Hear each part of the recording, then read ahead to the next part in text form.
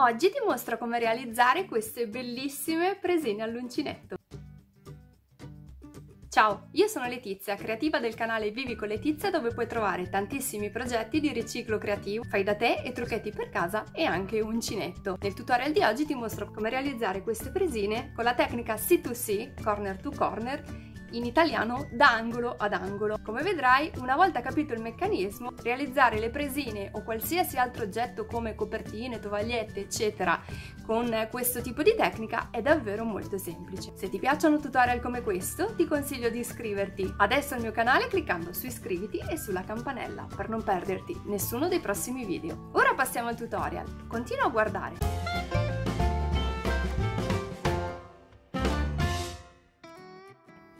Questa è una presina all'uncinetto che ho realizzato con la tecnica corner to corner. È una tecnica che conosco da poco tempo, pensavo fosse difficile ma in realtà eh, potrete vedere anche voi che una volta capito il procedimento è davvero molto facile. La lavorazione non è la classica dell'uncinetto. I punti possono essere maglie alte o mezze maglie alte e come vedete la lavorazione è costituita da tutta una serie di quadratini. La cosa bella di questa tecnica è che per realizzare i disegni si possono utilizzare degli schemi ad esempio del punto croce. Io vi consiglio di iniziare con schemi semplici proprio per capire il funzionamento. Ora io ti spiegherò questa tecnica avvalendomi di questo schema che ho creato io. Questo schema è leggermente diverso da quello che ho utilizzato per realizzare questa presina. Nella descrizione sotto al video vi lascio il link per scaricare lo schema sia di questa presina sia di questa che andremo a realizzare adesso. Con questa tecnica non si lavora nel modo classico. Sai che nel modo classico per lavorare all'uncinetto o si lavora a spirale oppure si lavora per righe. In questo caso si lavora in diagonale come vedi sullo schema ci sono dei numeri sia in orizzontale che in verticale. La numerazione delle colonne come vedi non parte da sinistra verso destra ma da destra verso sinistra. Si parte da questo quadratino, tutte le righe dispari si lavorano da destra verso sinistra e tutte le righe pari da sinistra verso destra.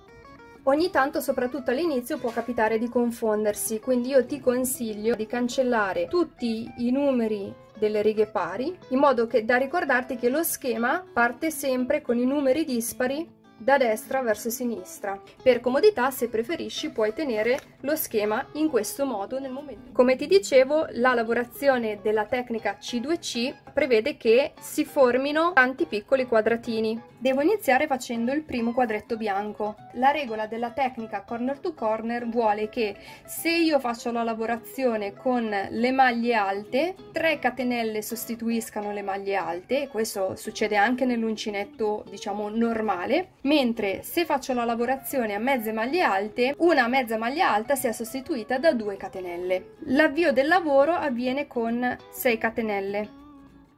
3 catenelle sostituiscono una maglia alta, quindi io lavoro una maglia alta nella quarta catenella a partire dall'uncinetto, una maglia alta in quella successiva e una maglia alta anche nell'ultima.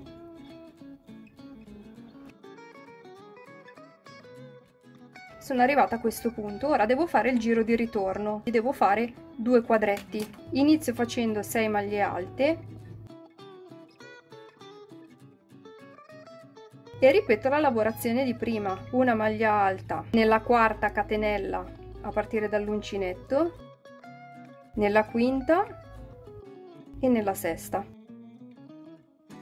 Giro il primo quadratino che ho fatto e mi infilo nell'archetto delle 3 catenelle e faccio una maglia bassissima. Faccio 3 catenelle. In questo caso non ho bisogno di farne 6 di catenelle perché le 3 maglie alte successive le farò nell'archetto, quindi faccio 3 maglie alte.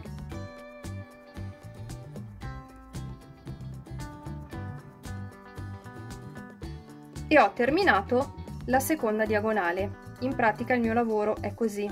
Ora devo fare la terza diagonale, però voglio mostrarti la differenza fra questa lavorazione e questa. Per evitare che ci sia un buco così evidente nella lavorazione, non considero 3 catenelle come sostituzione di una maglia alta ma ne considero due. Anziché partire con 6 catenelle partirò solo con 5 catenelle. Riparto, faccio 5 catenelle, faccio una maglia alta nella terza catenella a partire dall'uncinetto, poi nella quarta,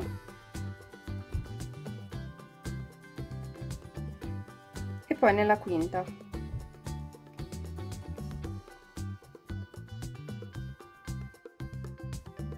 Per la seconda diagonale ripeto il procedimento di prima, solo che anziché fare l'aumento con 6 catenelle lo farò con 5. 1, 2, 3, 4 e 5. Faccio una maglia alta nella terza catenella, una maglia alta nella quarta e una maglia alta nella quinta. Giro per andare ad agganciarmi nell'archetto di catenelle del primo quadretto. Faccio una maglia bassissima 2 catenelle che sostituiscono una maglia alta 3 maglie alte. Come vedete il buco è molto meno evidente. Sono arrivata a questo punto devo fare la terza diagonale da destra verso sinistra e sono qua questo è questo, devo fare un aumento di un quadretto. Funziona sempre al solito modo. 5 catenelle e le 3 maglie alte. Giro, entro nell'archetto, faccio una maglia bassissima, 2 catenelle, 3 maglie alte. Se questo vi dà fastidio potete anche piegarlo verso il basso e ora andate ad agganciarvi infilando sempre l'uncinetto nell'archetto e facendo una maglia bassissima. 2 catenelle 3 maglie alte e siamo arrivati alla fine della terza diagonale. Ora dobbiamo fare la quarta diagonale. Per fare l'aumento procedo al solito modo. 5 catenelle poi 3 maglie alte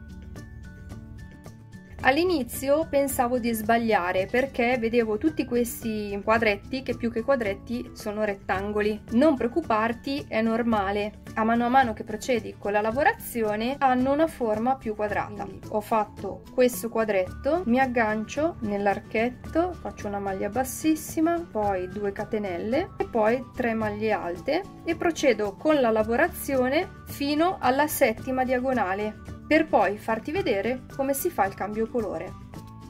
Ho appena finito la settima diagonale. A mano a mano che vai avanti con lo schema, per non confonderti nella lettura delle diagonali, puoi mettere delle X su tutti i quadretti che hai già lavorato. Ora devo lavorare l'ottava diagonale. Ci sono 1, 2, 3 quadretti bianchi, 1, 2, 3 quadretti rossi e poi 1, 2 quadretti bianchi ho finito il terzo quadretto bianco e ora devo farne tre rossi. Per fare il cambio colore, anziché chiudere il quadretto con la maglia bassissima e con il filo bianco, lo farò col filo rosso. Tengo da questa parte il filo bianco perché al ritorno in questo modo ce l'ho già dalla parte giusta per ricominciare la lavorazione del bianco. Aggancio il filo rosso, me lo trascino nell'asola bianca e tiro bene tiro bene anche il filo rosso in modo che non rimanga troppo largo. Inizio col fare 2 catenelle. Inizio del filo rosso lo lavoro chiudendolo con le maglie alte. Dopo le 2 catenelle faccio del 3 maglie alte eccetera.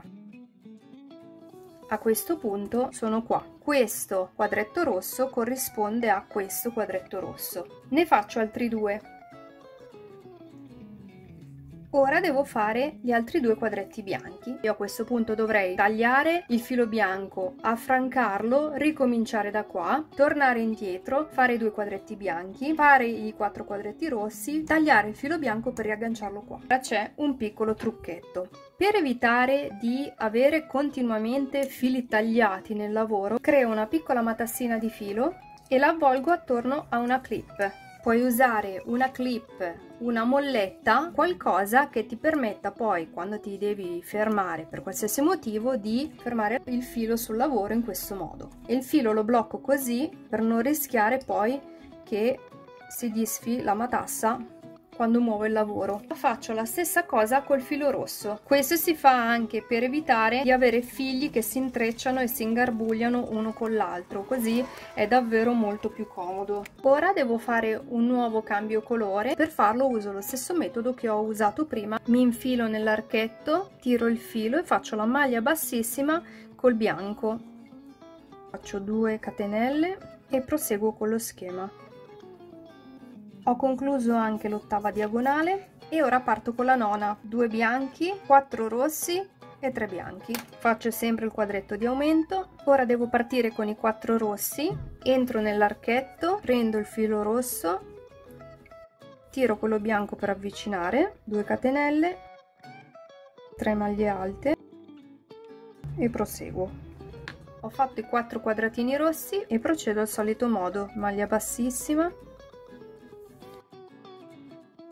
ora io continuo nella lavorazione che va sono arrivata alla quindicesima diagonale. Inizia la lavorazione della sedicesima ma non devo aggiungere un altro quadretto. Non devo fare un aumento perché un quadretto qua non c'è.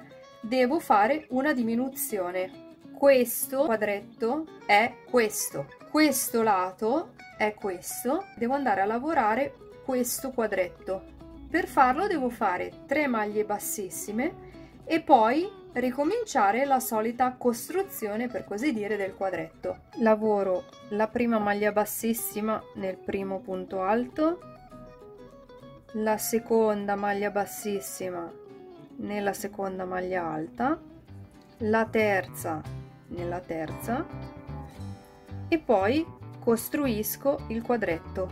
Quindi faccio 2 catenelle 3 maglie alte e ricomincio con la solita lavorazione girando il lavoro sul diritto come vedi si è formato proprio questo angolo. Lavoro l'ultimo quadretto di questa diagonale. Quando arrivo ad agganciarmi qua giro il lavoro e faccio 3 maglie bassissime. 1 2 e 3 in questo modo si è già formato quest'angolo. Questo è questo quadretto e questo è questo qua. Dobbiamo continuare aggiungendo un quadretto qua. Riprendiamo la lavorazione come al solito. 2 catenelle 3 maglie alte. Mi aggancio con una maglia bassissima e continuo allo stesso modo con la lavorazione ho terminato la lavorazione della presina, sono arrivata all'ultimo quadretto in alto a sinistra e ora procedo ad affrancare. La presina si può anche lasciare senza bordino oppure puoi decidere di fare questo tipo di bordino. Inizia con un giro di maglia bassa prendendo come riferimento questi due quadretti, faccio il primo punto nell'archetto, il secondo qua in mezzo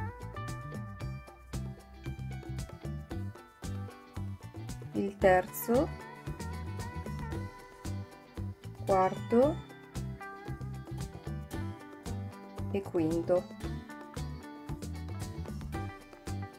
Quindi i 5 punti che ho fatto sono questi. Qui c'è l'archetto da cui ripartirò per fare altri 5 punti. Arrivata all'angolo ne faccio 3 nello stesso punto. 1, 2, 3 e poi ricomincio come prima. Sono arrivata alla fine del giro e ho chiuso con una maglia bassissima. Ora per fare il bordino a onde dobbiamo lavorare dei gruppetti di 5 maglie alte. Non faccio catenelle aggiuntive, salto 2 maglie di base e nella terza faccio 5 maglie alte.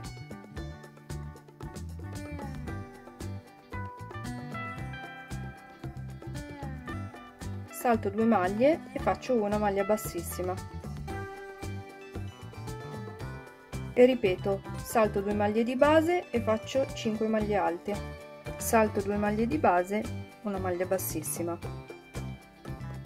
Arrivo all'angolo faccio la maglia bassissima nella prima delle tre maglie basse che ho fatto all'angolo poi faccio 3 maglie alte nella maglia centrale delle tre che avevo fatto nell'angolo. E faccio una maglia bassissima nella terza delle maglie basse che avevo fatto all'angolo.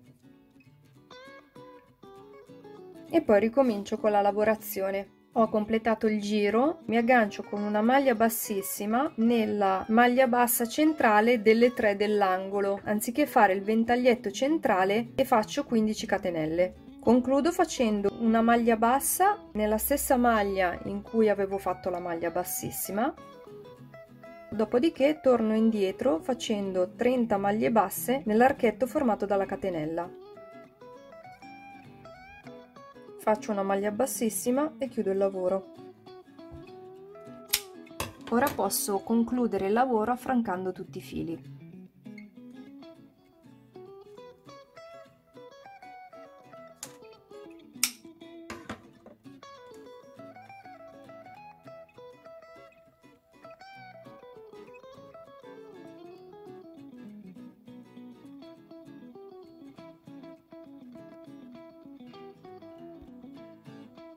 Se ti piacciono tutorial come questo, ti ricordo che puoi iscriverti adesso al mio canale cliccando su iscriviti e sulla campanella per non perderti nessuno dei prossimi video. Tu conoscevi già la tecnica a uncinetto corner to corner?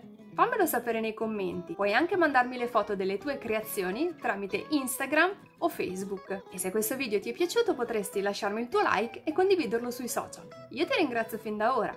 Noi ci vediamo alla prossima. Ciao!